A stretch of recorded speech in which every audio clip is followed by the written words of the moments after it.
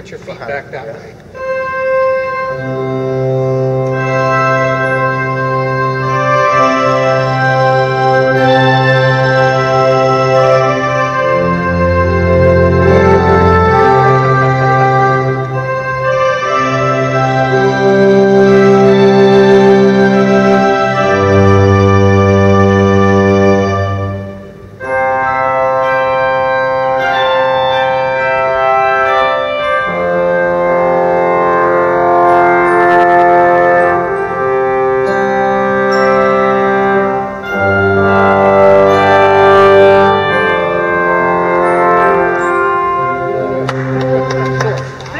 Thank you, Thank you, thank you.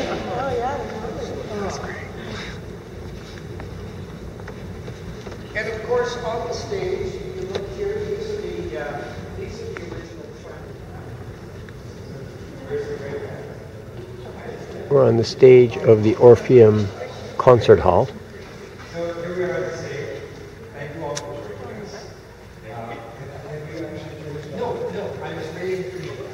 Thank you I'm going to turn it back to Rob at this point. Um, As, as we say, this, this tour has been free um, because the city wanted people to see it and to share in it. Uh, the BC Entertainment Hall of Fame uh, works entirely on, on donations and so on. So we don't charge you to get in, but we charge you to get out. if you care to make a donation to the uh, BC Entertainment Hall of Fame, more than welcome to. But please, most of all, tell your friends, tell anybody that you see that this is a wonderful thing to do. And we only do it in July and August in the summer. So just, just before we do that, I, actually, if I can gather everyone here, please. And uh, I want to thank Doug uh, once again. I mean, he, uh, he's, he's really important to this program, and uh, we're most thankful. Thank you very much. Uh, Tony Bennett. Uh, I was here at a concert and Tony Bennett was singing, and uh, near the end of his concert, he, he stopped and he said, You know, you have such a beautiful theater here. And he said, I'm going to show you something. And he said to the sound man, Turn off all the microphones. Yeah. And they did. And then he said uh, to the uh, musicians, Put your instruments down. And they put their instruments down. And he stood actually right where you are, sir.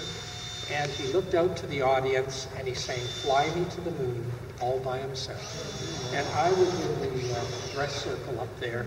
You could have heard a pin drop and you could have heard, and you heard everything that he sang. And he said, ladies and gentlemen, that is what you have here in the city of Vancouver. And he said, whatever you do, not let it go. Hang on to it. And so that's why this is a heritage building, and that's why the Vancouver City and the Vancouver Civic Theaters are proud to give these tours. And that's also why the Hall of Fame, with, with Doug and myself and other volunteers, we, we, we do these tours because we really want to protect the heritage of this, of this building. One of our big projects coming up in the next uh, few years, hopefully for our 90th anniversary, is to uh, refurbish the organ. So, you know, we do all sorts of different things. Now, uh, Doug was kind of joking, we charge